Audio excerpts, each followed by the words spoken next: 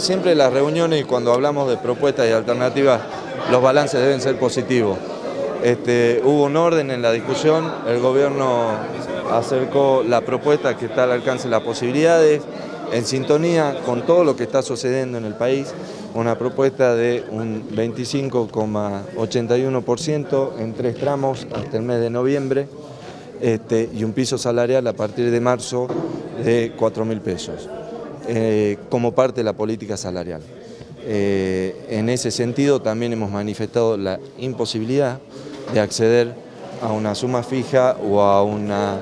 este, cuestión retroactiva donde una suma fija implican para el gobierno provincial 100 millones de pesos que no los tenemos y que tenemos que hacer frente a la política salarial que estamos planteando. La nómina de marzo claramente estamos planteando una propuesta donde va a subir. En ese sentido se ha hecho una contrapropuesta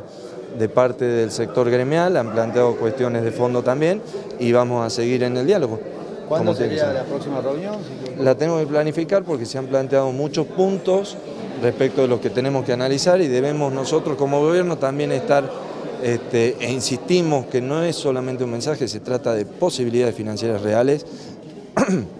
este, tener la pauta salarial docente, es muy positivo que en el ámbito nacional se siga discutiendo, no hubo un decreto del Poder Ejecutivo Nacional, este, hay una conciliación obligatoria que es un marco de discusión normal y habitual, de la discusión de salario en cualquier país del mundo, razón por la cual este, también estamos atentos por el simple hecho de que la provincia es una de las ocho provincias que recibe fondos nacionales para atender sueldos. Y si la provincia, además de atender una propuesta salarial, no recibiera esos fondos nacionales porque excede el piso salarial, y estaríamos incurriendo en la pérdida absoluta de la previsibilidad de la atención de la nómina salarial normal de los sueldos.